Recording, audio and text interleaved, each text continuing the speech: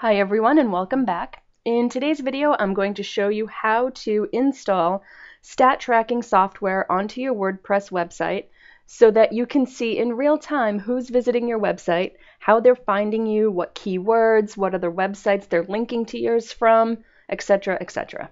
So what we're going to use is um, a program called statcounter.com.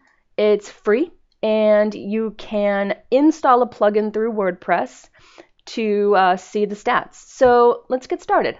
I'm already logged into my WordPress admin, so I'm just going to go onto my dashboard. And to get this going, I need to go to plugins. StatCounter actually has a plugin that you can use um, to download right into WordPress, which is really nice. So I'm going to go to Add New from Plugins. And with StatCounter, when you run a search for it, it's one word. So don't do stat counter as two words, do it as one.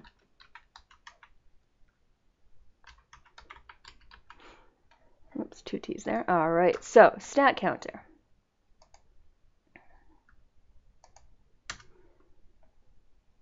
And make sure that you look for the one that says statcounter.com. That's the one that you want to install. So I'm going to choose install now and activate that plugin.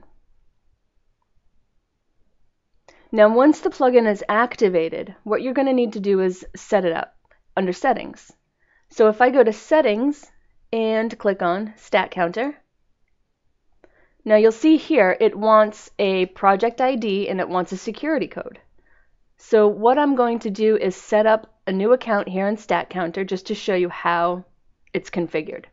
So from statcounter.com, choose sign up and then you can create your account. So what I'm going to do is utilize my domain name for the username and then I'll do my email address and my name and password. So now I'm going to accept the terms and choose create account. Alright, now it wants my project URL, so that's just my domain name. So I'm going to just go ahead and copy that. And I'll paste that in there. There we go. And I want my stat tracking to be invisible. And you can have this email you reports. Um, for me, um, I usually choose none so that it doesn't email re email reports because I can just log into the dashboard and see my stats. But you can have it email you monthly, weekly, whatever have you. So I've already got a project set up for this, but typically you would choose add project. And then when you do that, you need to simply grab your project ID and your security code. So for the purpose of this, I'm going to go ahead and log in and take you to that screen. So I'm going to log out of this one. And then I will log in.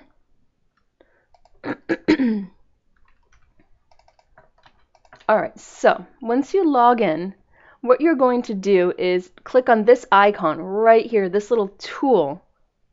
So click on that to get your configuration settings. So here you're going to see your security code um, and your project ID. There they are. So I'm going to go ahead and copy my project ID and that goes here. I'm going to grab my security code and that goes here. I'm going to force invisibility because I don't want my stat counter to visibly show up on the site. I want it to be invisible. So I'll go ahead and update those options. Now let's say someone goes onto your website. So I'll just show you how this works. I'm just going to click on some different pages here. I'm going to browse around the site a little bit. Um, so just like somebody going to the website. If you want to see the statistics of who's visiting your website, all you have to do from your dashboard is roll over the word dashboard. Don't click on it, just roll over it, and then you'll see stat counter stats. If you click on that, then it'll take you to your screen where you can see who's visiting your website. You can see page views, unique visits, returning visits.